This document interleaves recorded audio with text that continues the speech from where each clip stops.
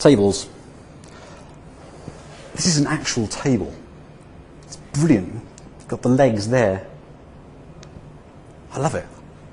Anybody wants to buy me a present, buy me that. Brilliant. You know, obviously for making an effort to, you know, do this. Tables. They are not tables. It's very confusing calling them tables. Um, what they basically are is key, is key value pairs of entities stored in a table. um, they have an API, REST API, and there's no fixed schema. So they're a bit, especially when you come, come at it from SQL, they're a bit strange. Um, so one of the things you have, trying to remember now, you have two, two rows, a partition key and a row key. These uniquely identify every single entity in your table. So all of your entities must have a partition key and a row key. Beyond that, you're pretty much unlimited. So what you tend to see is people kind of draw it like a table, and you say, okay, this will be, I'll call this my customer name. He'll have Bob.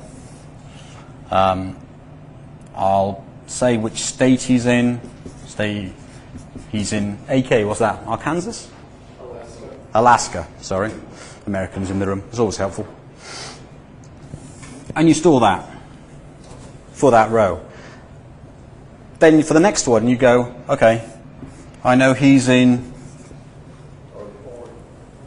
Orlando. Orlando. Hmm? Oregon. Oh yeah, Orlando's a not really a state, is it? And then you can have favorite color. Hang on, spell it in US. And that can be blue. The data can be completely disjoint in the tables, so it doesn't really behave like a table.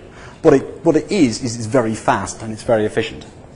Um, you can have up to 255 properties, so 255 rows or columns per entity, and they don't have to be the same in any way, shape, or form in, in one given table. Um, and you can have up to one megabyte per entity. The values can be any kind of standard .NET type. Um, nothing particularly inter interesting there.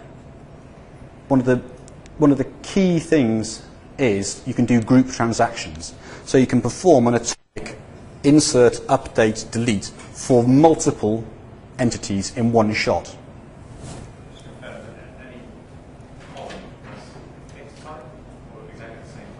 No, it can be no, it can have any mixed type. So I can I can put I can put state here of three. Yeah, exactly. There is no it forces nothing upon you, um, which is kind of strange. But it is basically NoSQL. Yeah.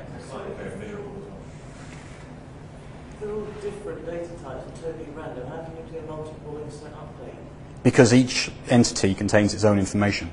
So you do an ent- so you do each entity says I want this entity, I want all of these I want all these name value pairs to be this, I want this entity, all these name value pairs to be this.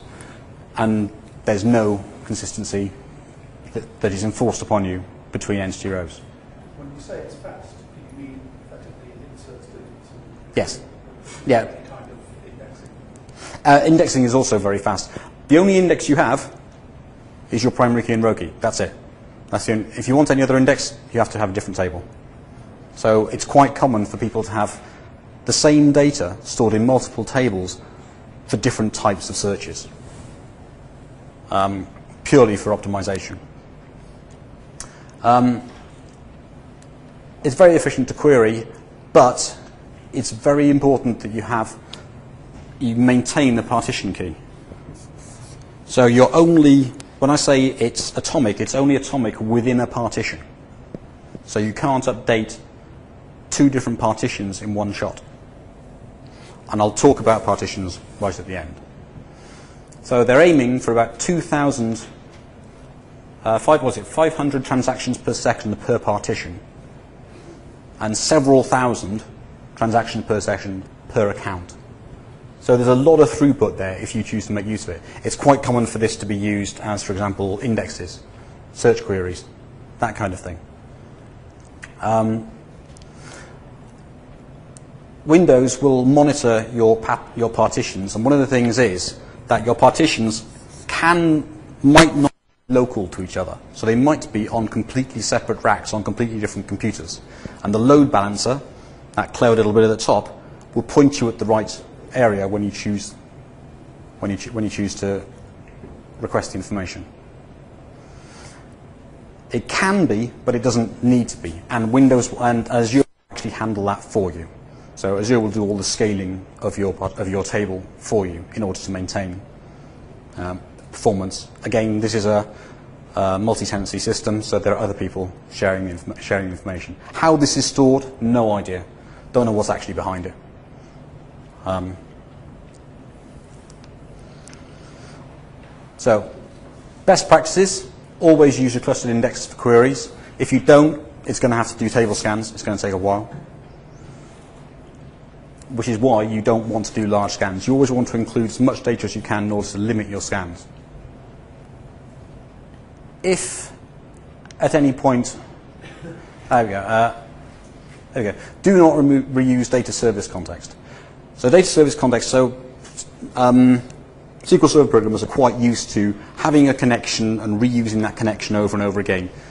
In tables, don't do it, just throw it away. If anything fails, if you're doing it across multiple, multiple, transact, multiple operations, throw it away and restart. Apparently, the creation of these service contexts is minute. It's not like a connection. It's just, it's just something that is stateful and you just want to get rid of it immediately. You can also have read-only scenarios. So there is something on here which I haven't talked about, um, which I'm trying to remember. It's basically a way to ensure merging. So you get conflicts, you can actually resolve them. Um, so say, for example, I perform an update, somebody else has the data and then performs an update. Afterwards, you've got to ensure that the, I think it's the kind of a, a version of the a version of the entity is maintained. Um, if you want read-only scenarios, you can turn that off and it speeds things up a bit. And always, if you can, do things in groups. Um, you're only charged per transaction. So, of course, the fewer transactions you can do, the cheaper it's going to be. That's tables.